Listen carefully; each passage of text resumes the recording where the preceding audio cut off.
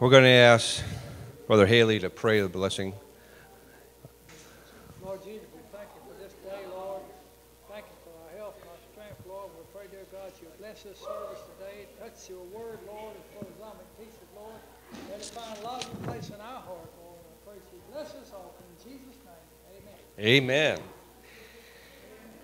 Amen. It's good to be alive in Jesus. It sure feels good that we can freely come to the house of the Lord and worship in spirit and in truth. Amen. There's a lot of people going to houses of worship that do not worship spirit nor in truth. They go there, and I was one. Maybe you were one. But I was certainly one. They just went to church because it was good, felt good, and uh, just wanted to be among people that had a hope. But thank God for the scriptures, and thank God for the Lord challenging us to search the scriptures. In search, you're going to find the truth. An honest heart will find the truth. If you're just in for just for the ride and just to be among people as fellowship, then you will establish a relationship with Jesus Christ. Our Bible lesson today is God's word for today is, is about walking in truth. Walking in truth. And we are going to turn our Bibles to 1 John chapter 1 verse 7. We're going to read that scripture. And the lesson is week four. And boy, time's flying by. It's already September, uh, ready to get into October. But John is writing a letter in 1 John, in 2 John, and 3 John, and the Gospel of John, and Revelation, or the revelation of Jesus Christ. John had a lot of input in writing letters to the church. And I thank God for Apostle John. He brings a lot of light, and he brings a lot of truth, and he was used mightily for the Lord. He writes this letter, and he says, But if we walk in the light as he is in the light, we have fellowship one with another. And the blood of Jesus Christ, his Son, cleanses us from all sin. That's a beautiful scripture. But the fact of the matter is, you got to walk in the light as he's in the light. Darkness is a, a place that you want to avoid. And the Lord said, I'm the light of the world. And I'm the truth. I'm the way and I'm the life. And the only way you're going to escape darkness is to get in Christ. The only way you're going to see the light is to walk towards the light and walk with the light and follow the light. I guess the scripture says it so plain that the Lord's word is a lamp unto our feet, and a light to our pathway. Without the Word of God, we wouldn't have hope. We wouldn't know what truth versus error was. And the combination of spirit, the spirit of truth, and of course the Word of God helps us and brings us to a place of being in Christ, in truth, in the light, and in love with God. Because God is in love with us. Want to be in fellowship with one another, and we want to be in the light as He's in the light. We're going to go to our another scriptural text, and that's in Second John chapter 1, uh, uh, 2 John verse 1 through 13. And he writes this The elder, he describes himself as the elder, he's up in years. And he says, The elder unto the elect lady and her children, whom I love in the truth.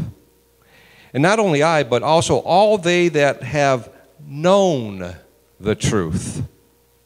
For the truth's sake, which dwelleth in us, and shall be with us forever.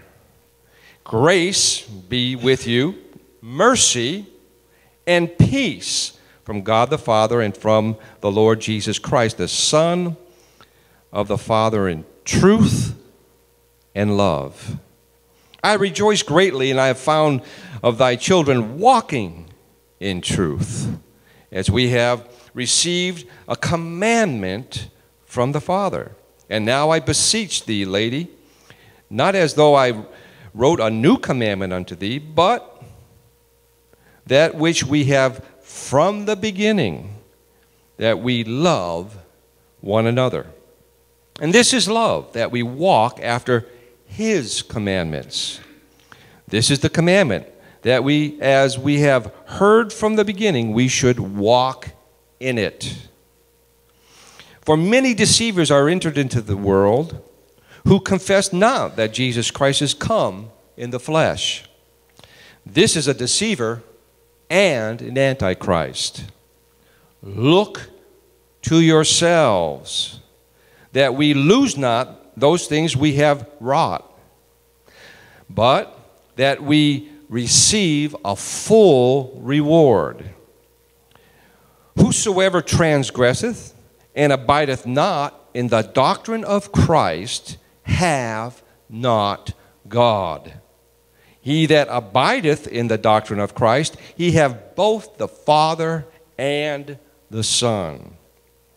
If there come any unto you, and bring not this doctrine, receive him not into your home or house, neither bid him God speed. For he that biddeth him God speed is a partaker of his evil deeds. That's strong language. The apostle is laying out very plain and strong language. You're not to fellowship with them, you're not to let them in your house. You just label them as what they are deceivers, liars, false prophets. They're not walking in the truth, they're not walking in the light, and they are come to try to disperse, confuse, and destroy what God has brought together. There are cancers in the body. They are cancers, they're diseases, and you're to expel them, you're to expose them. That's strong language. Having many things to write unto you, I would not not write with paper and ink, but I trust to come unto you and speak face to face, that our joy, that our joy may be full. That's exactly what Jesus wants, that our joy may be full. The children of thy elect sister greet thee. Amen.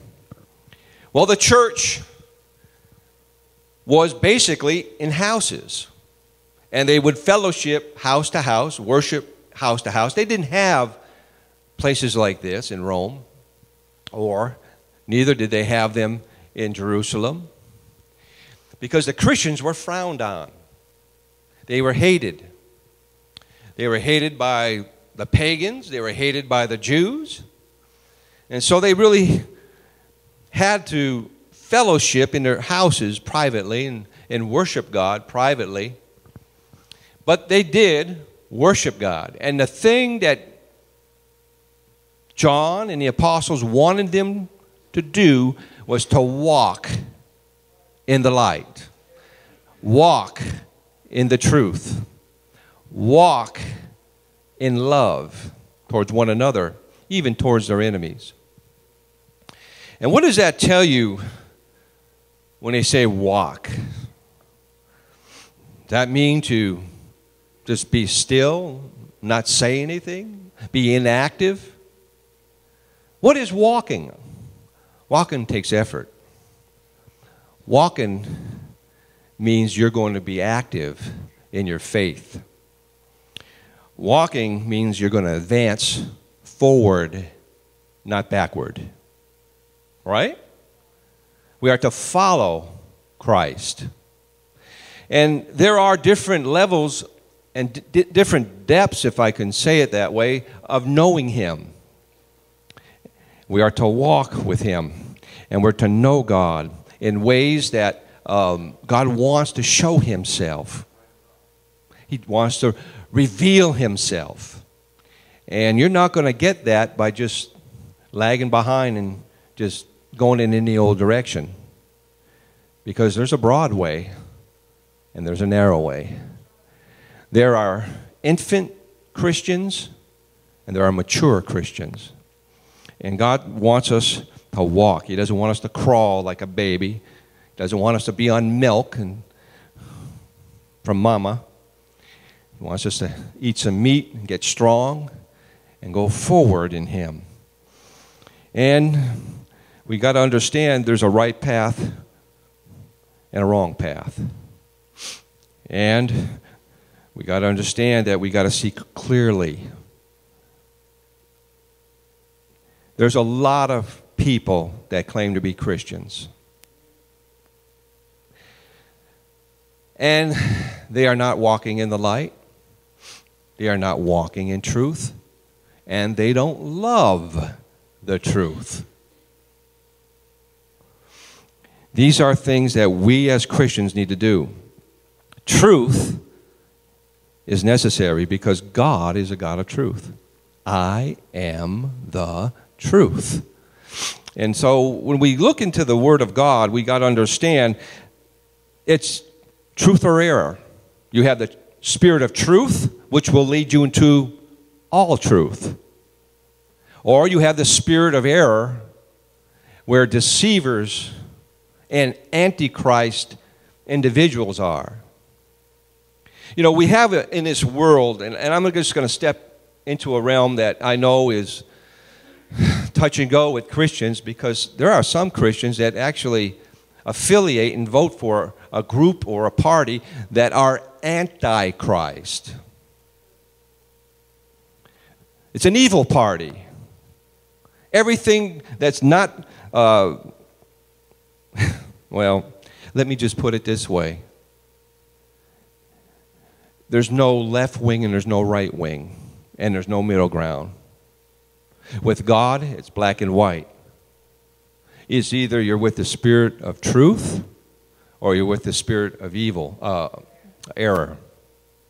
You're either in the light or you're in darkness. There's no gray area.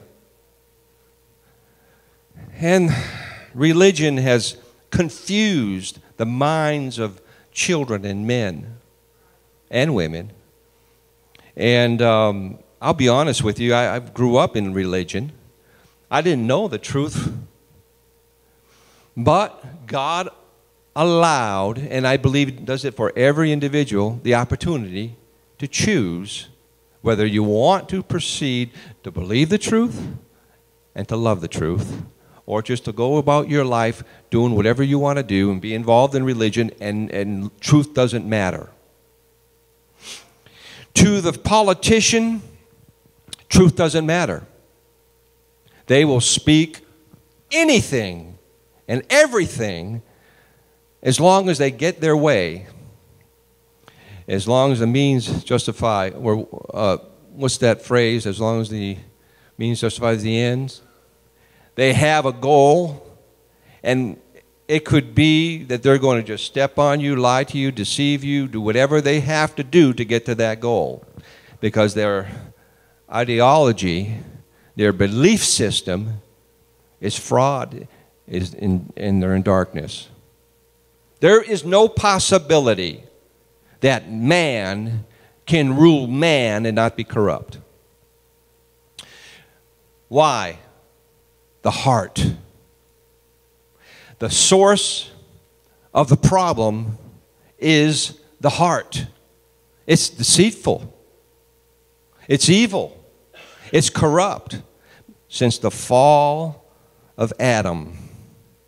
And Adam chose, he was a transgressor. Adam chose to believe a lie than to believe the truth. Adam chose to believe Satan, the Antichrist, the spirit of the Antichrist, the spirit of error, than rather to believe and trust God and, and take God at His word. In doing so, he basically called God a liar and did not trust God. I want you to understand the results of that. The results of that, God said, Go. Depart, get out of the garden, and forced him out and his wife. There was consequences to his transgression and sin.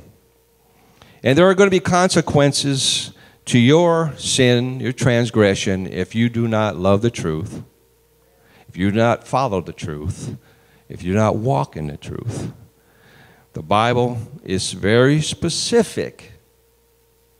John probably was the last disciple, apostle of the faith, and he's writing these letters and he's telling the church to beware of false prophets, deceivers, those that are antichrist.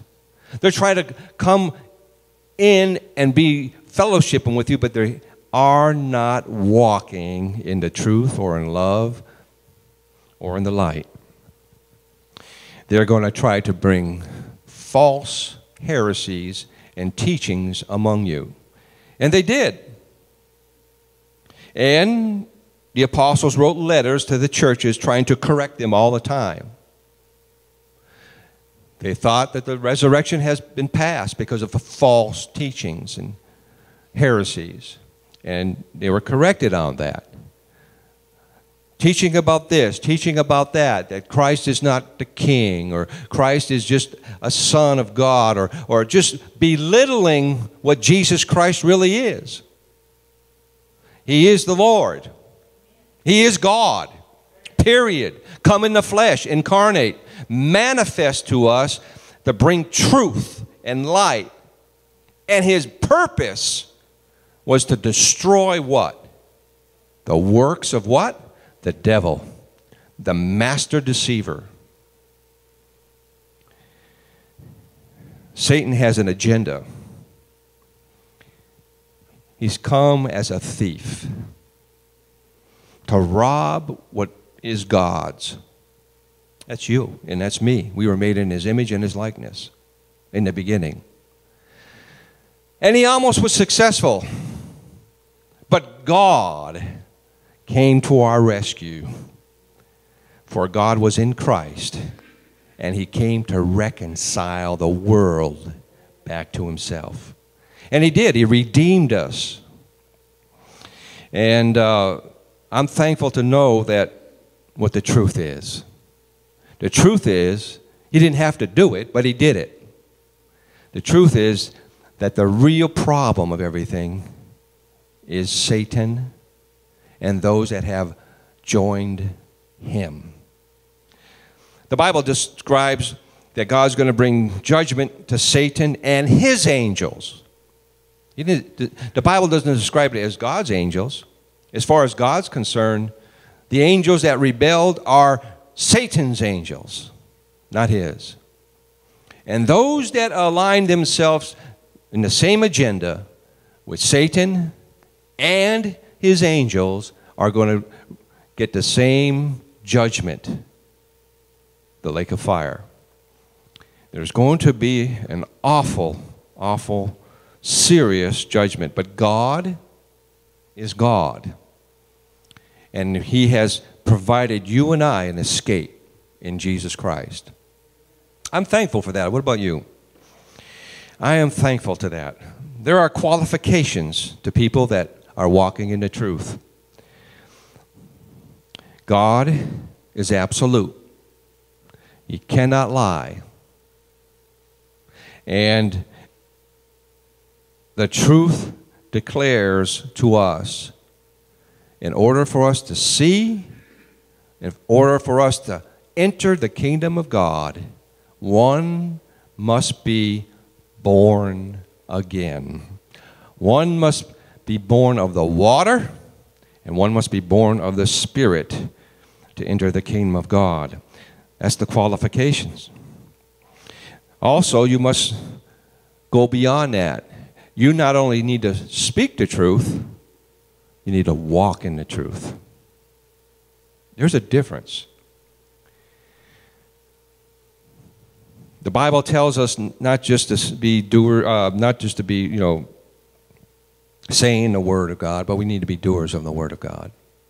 We need to put our faith in action. Because, because faith without works is what? It's dead, dead, dead. There is no life to it. And you go to a lot of so called Christian churches, it's dead. And the reason why there's no life there is that there's no spirit of truth being active in their lives. They're not walking in truth, they're walking in darkness. They're believing the heresies and the things that are, are just taught by false teachers and false prophets, and they're believing it. Now, Paul writes to those that don't love the truth beware. There's a problem. God's going to bring what? Strong delusion to you. If you're not going to walk in the truth, if you're not going to believe the truth, if you're not going to love the truth, because God knows the heart, strong delusion is coming your way. And that strong delusion has a purpose. That strong delusion is that it's going to bring damnation to you. You're going to be in darkness, and it's going to be so thick, you're not going to know which way is up. You're not going to know which way is the right way. And I'll tell you what, it's a sad situation among Christian churches and what they believe and what they don't believe. It's a sad situation when you got preachers, teachers, and prophets that are in error and the people are believing it. And the people are being deceived. And strong delusion comes their way, and there's no possibility for them to be saved. Because they're not going to leave that darkness, because they love the darkness. All right. So, there is a situation also that not only are you supposed to love the truth, but you need to get into the realm of hating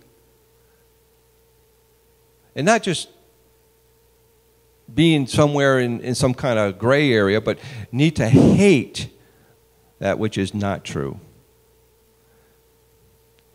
Job hated evil. And Satan hated him. And Satan did all he could to destroy him. But God didn't allow it to happen. And Job came out through the testing pure as gold. It was a long situation. I don't wish it on anybody. But it was put there for a reason, so we can see behind the curtain how Satan operates. Satan hates you. He hates me. He will do anything he can in his power to make you believe a lie and be damned. So we have a real enemy. And um, we must understand we've got to walk in the truth. We got to be advancing in the truth. We got to be growing in the knowledge and in the grace of Jesus Christ. We've got to be on the right path. And we got to see clearly what our goal is. And we got to press on. It's nothing, this, this kind of language is not unfamiliar with you. We have to press towards the mark. That means it takes effort. That means it's not going to be, life is not going to be all roses and fun. There's going to be suffering. There's going to be mocking. There's going to possibly be physical abuse. Well, in Europe and in communist lands, they can kill Christians and nothing is said. The government gives the okay on it. The Muslims, hey, it's okay to kill Jews and Christians. It's in the Quran. They got the green light to do it. And you're going to see more of it. And you're going to see more of it. And you're going to see it more of it in this country. There are a lot of mosques, there's a lot of Quran believers in this country, in the millions. In the millions.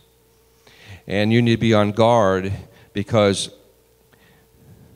Islam is not a peaceful religion, even though it's spoken by our president to be and our leaders. But the fact of the matter is, they don't speak against their own. Because the fact of the matter is, there might be a lot of mediocre, setback believers about the Quran, but there are radicals and a lot of their teachers are radicals.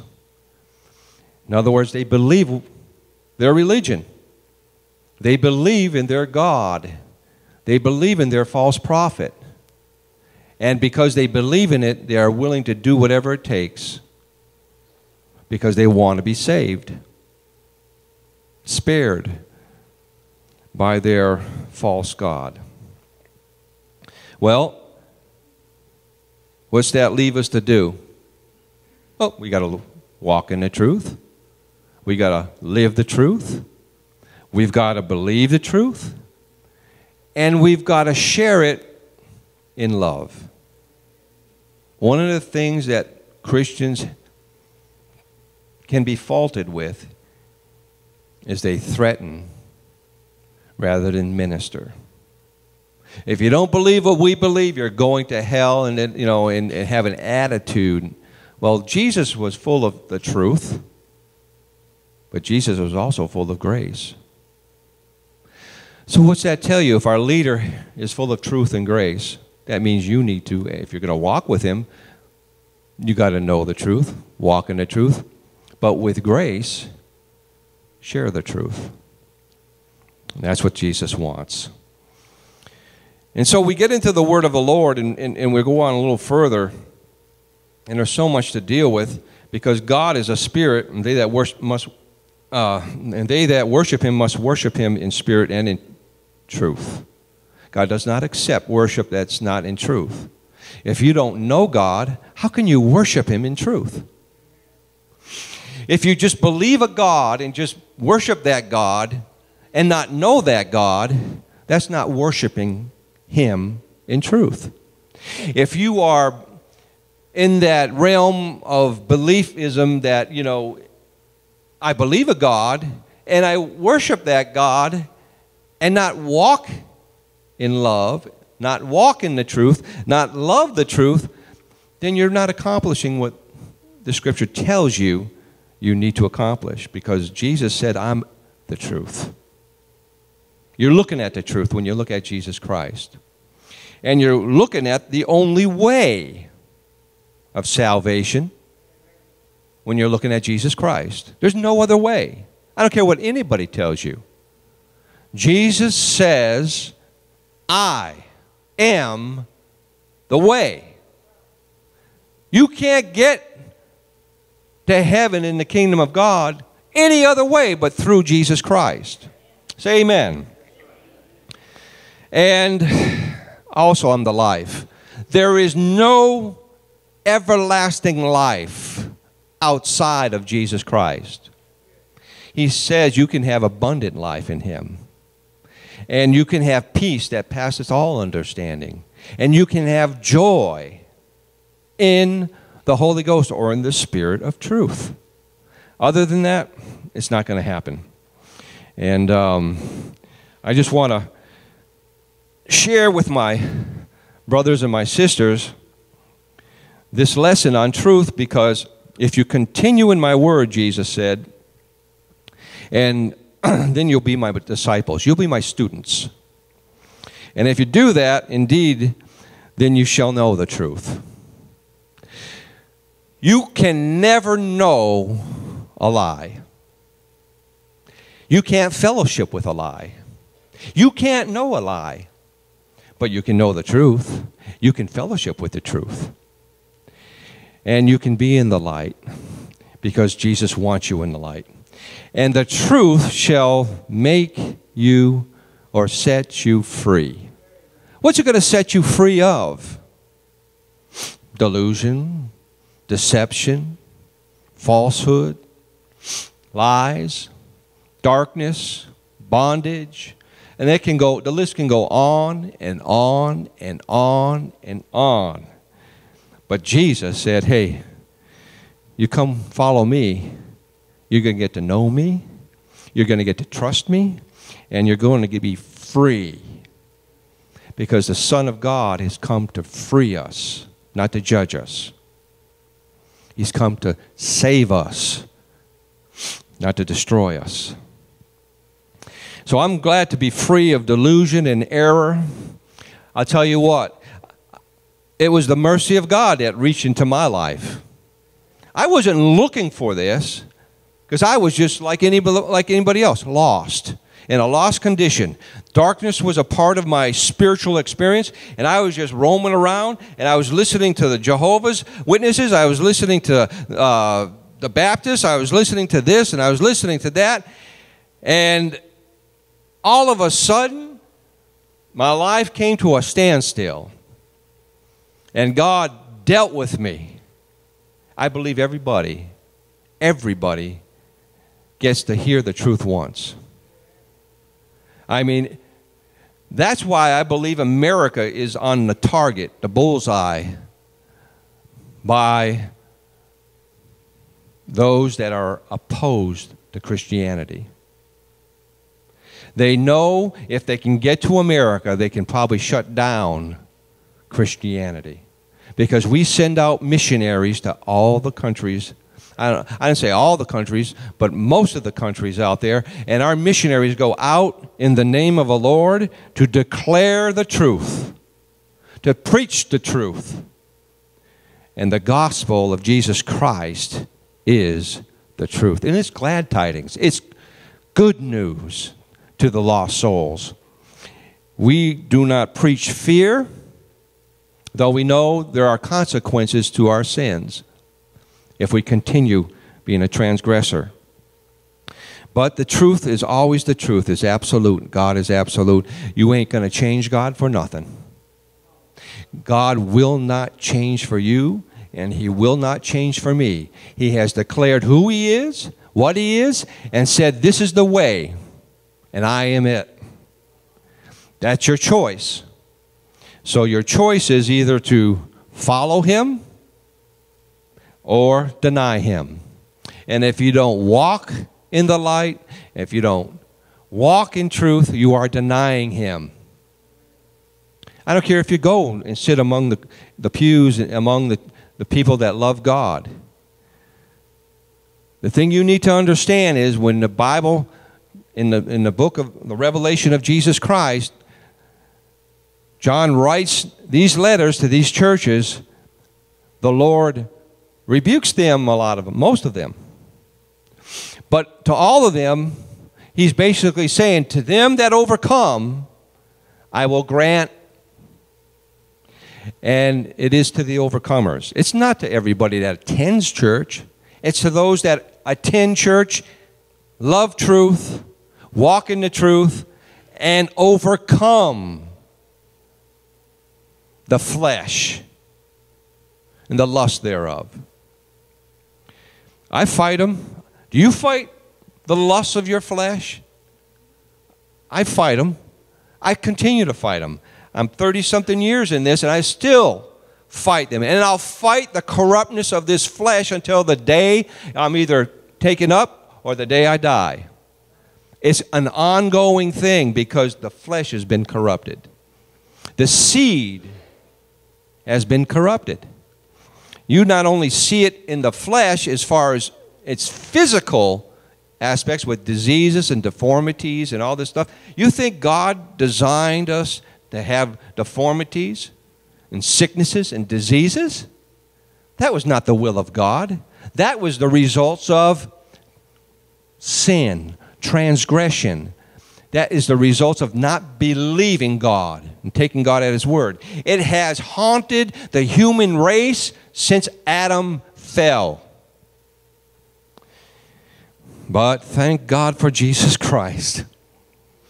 Amen. And that's why we come to church and we rejoice in Him. And that's why we worship Him because the fact is, He's our way out.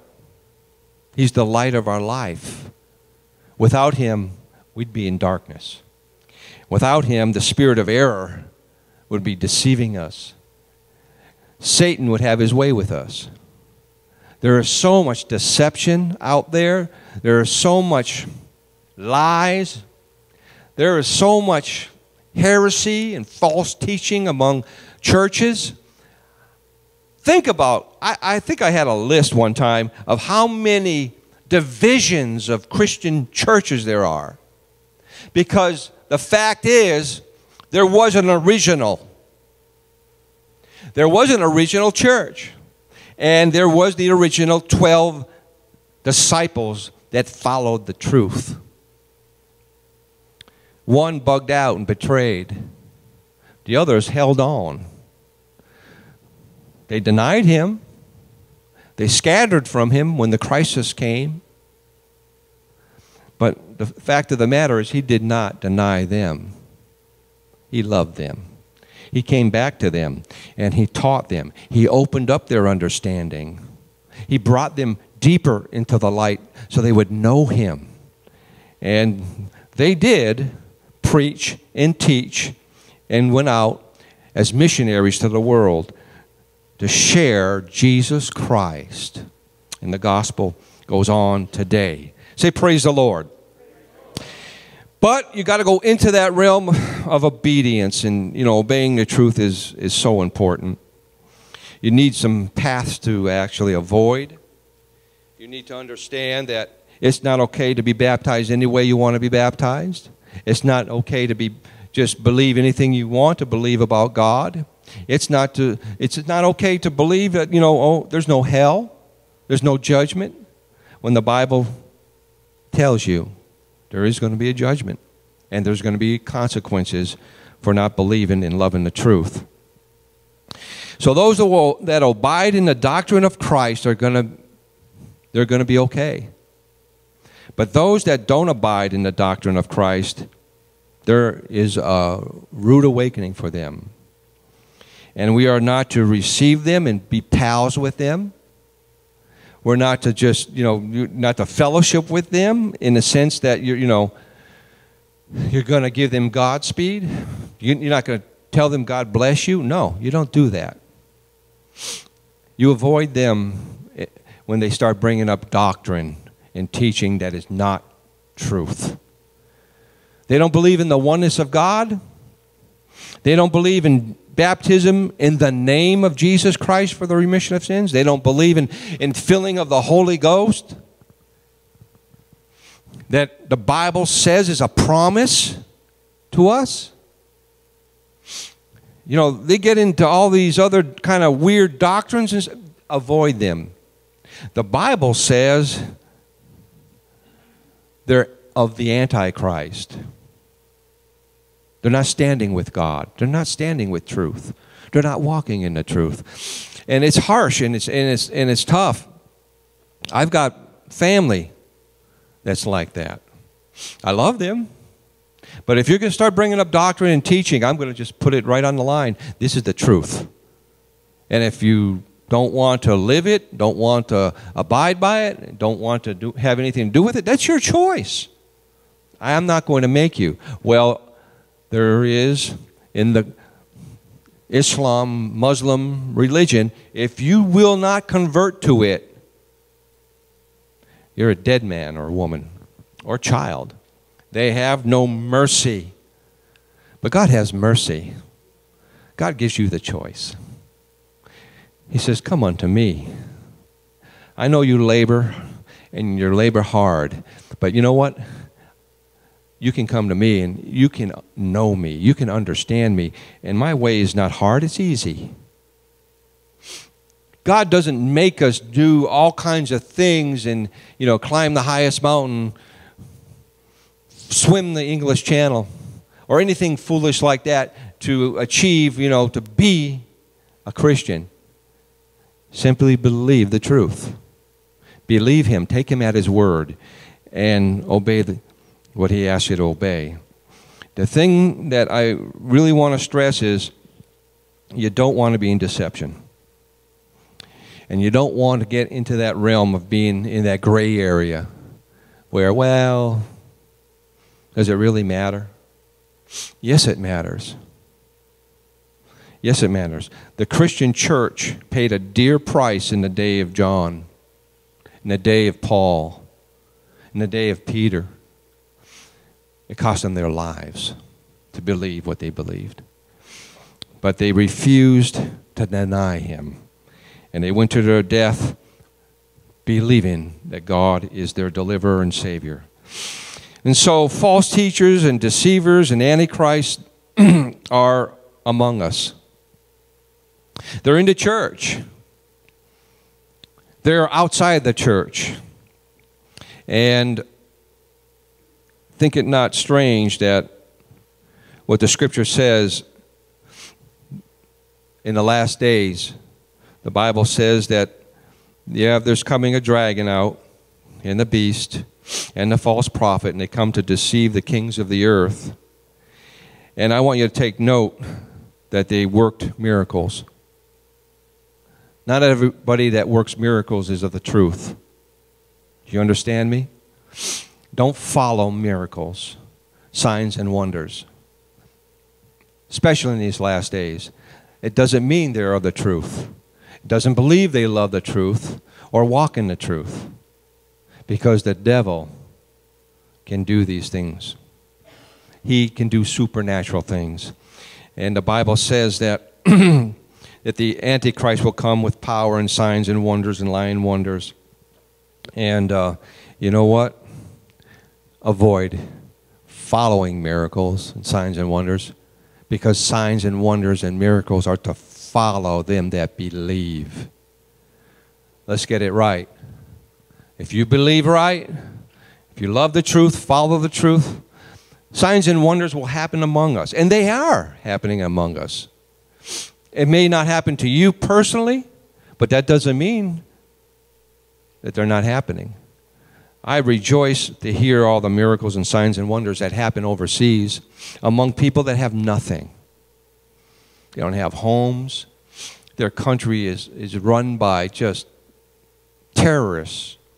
And yet, we hear about people being raised from the dead and all these good things. And it happens in America too, but not as much because there's just a, a believism in America about Christianity. It really don't matter what you believe. It does matter what you believe.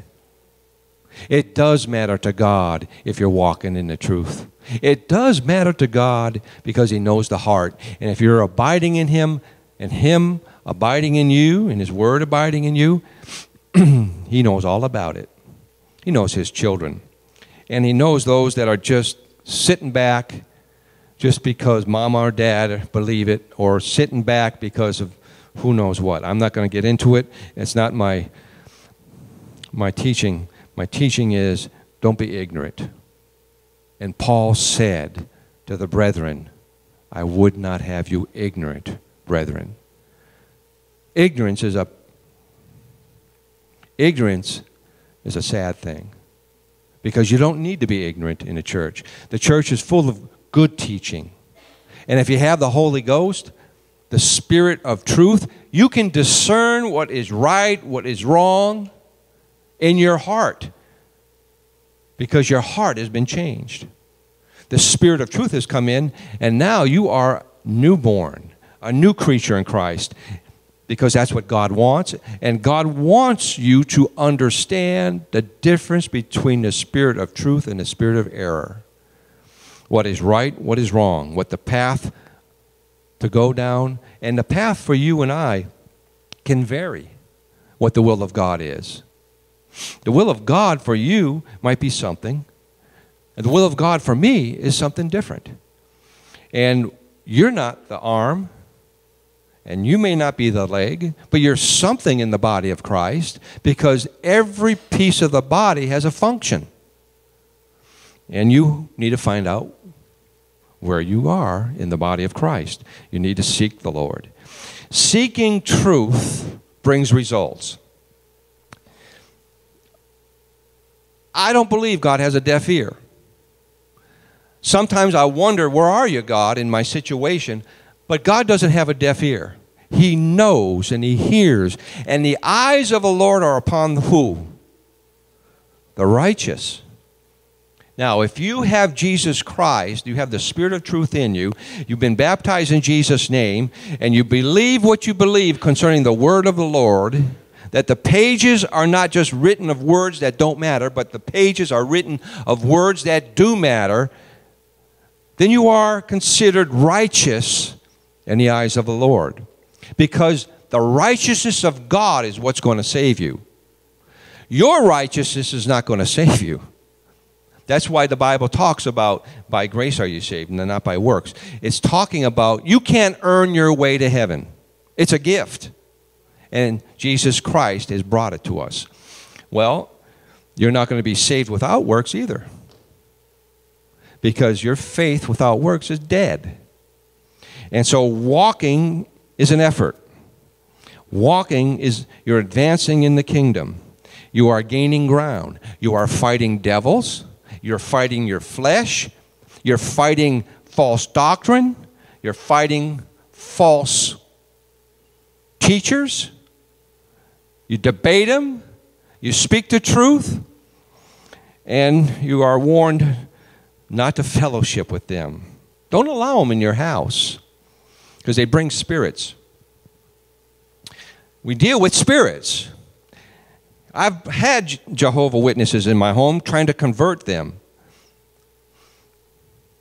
And I would bring truth to them from a King James Bible, from the Holy Scriptures, and they would turn to their book. And they would not believe the truth. Well, I planted the seed. But the fact of the matter is, I have never won a, a Jehovah Witness, no matter how many I've talked to. That's my experience with it. But you plant a seed truth. Hopefully, they'll turn and understand that, yes, Jesus Christ is come in the flesh. Jesus Christ is Lord. He is not another angel. He is not this or that. He is God manifest in the flesh. He is their, what they believe is their Jehovah. The God of the Old Testament is the God of the New Testament. That's the facts. And so I want to be on the right road. There's many blessings on the right road. You get to enjoy liberty. You get to enjoy victory. You get to overcome the flesh. You get to battle devils and see victory in your life and in other people's lives. We come together and, and assemble ourselves. We pray. We believe. We hear the correction by our pastor under the anointing of the Holy Ghost so we can correct our ways. Maybe we're not being true and going down the straight road. We're kind of deviating here, left or right. And I, you know, God doesn't want you going to the left or right. He wants you going straight. There's a gate, and it's narrow. And you got to understand that. And few are those that go into it. I don't like that. I wish it would say many. But the many go into the broad way, into the broad gate. That's the facts. Jesus said it. The truth is the truth. And it's sad. But I just want to share some things concerning this lesson that we got to understand that we can know the truth. We can know Him. And the greatest thing, according to what Jeremiah said, under the unction of the Holy Ghost, is that for man is to know and understand Him, the Lord. To know Him and to understand Him, to walk in His ways. His ways are different than our ways. Our ways can bring confusion, and we can be walking in the darkness and not even realizing it. But His ways are always the right ways. And I want to just share with you, and we're coming to a conclusion in our, our lesson, but I just want to share one more scripture. Because Jesus did have an encounter with Pilate before his crucifixion. And Pilate drilled him Are you the king of the Jews? Jesus didn't answer him right away, kept silent. And Pilate marveled at that. But as the drilling and the questioning kept forth, came forth, Jesus did say, you know, what you said is the truth. I am the king of the Jews. Whether you believe it or not, whether they believe it or not, I am the king of kings and the Lord. But in his discussion with Pilate, what comes forth in this discussion is Pilate said, What is truth? what is truth? You know, as a politician, that speaks volumes. Because truth seems like it's thrown out the window. It doesn't matter to the politician, to those that are governing in power and authority, as far as men are concerned. Our government, as much as we are founded, as much of it on Christian princip- principles, is going into a direction that is antichrist. It's not good enough not just to acknowledge Christianity, but they want to get rid of God. They really do. You can see our schools and the situation our schools are in since they want, got rid of prayer and got rid of anything to do with God in the 60s. And these are children of the 60s that are in charge right now. And you wonder why we have the mess we have. Continue to walk in truth. Continue to walk in love. Continue to love the truth. And believe me, you will not be dissatisfied or unhappy. You will enjoy the results. God bless you.